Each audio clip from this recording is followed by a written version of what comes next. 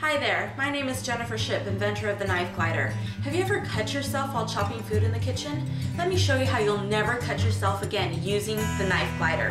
Say you're making a soup and you're chopping carrots. Now normally I would hold the carrot with my fingers, actually putting my fingers in harm's way with the knife. You don't have to do that anymore.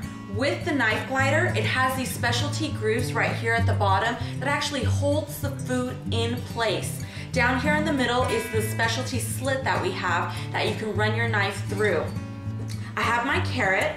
I'm gonna hold it in place with the knife glider.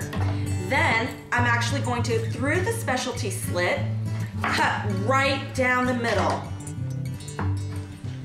I can then run my knife through the middle again and I have a perfect slice, just like that.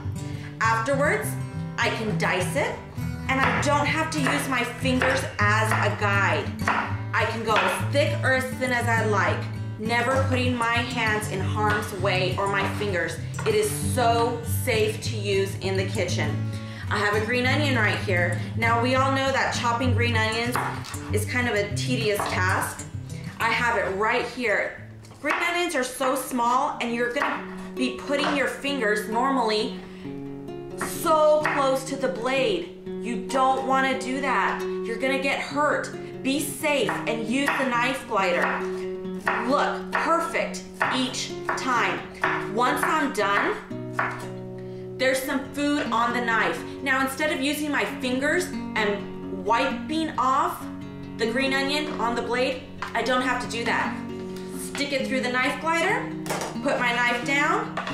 It's as safe as that. Potato, it's as easy as one, two, three. Have my potato right there.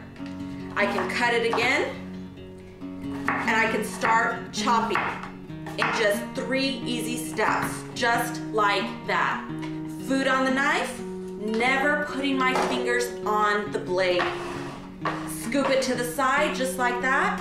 Or I have a pot.